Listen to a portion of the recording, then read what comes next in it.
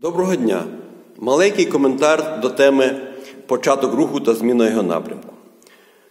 Ви знаєте вже, що якщо є знаки перед перехрестям чи розмітка, то ми на перехресті рухаємося так, як показують знаки чи розмітка. Якщо розмітка не відповідає знаку, отут розмітка забороняє направо, а знак дозволяє, то ми слухаємо знаку, бо знак має перевагу перед розміткою.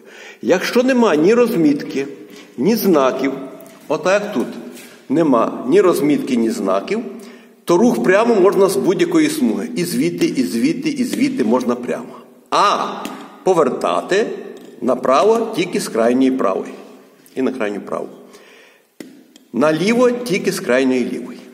Тепер ставимо регулювальник. Ось стоїть регулювальник. Він дозволяє з тої сторони їхати і прямо, і направо. Так? При такому положенні регулювання. Прямо і направо.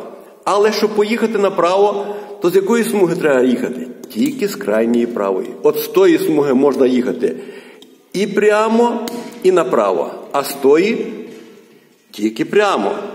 З тої також тільки прямо.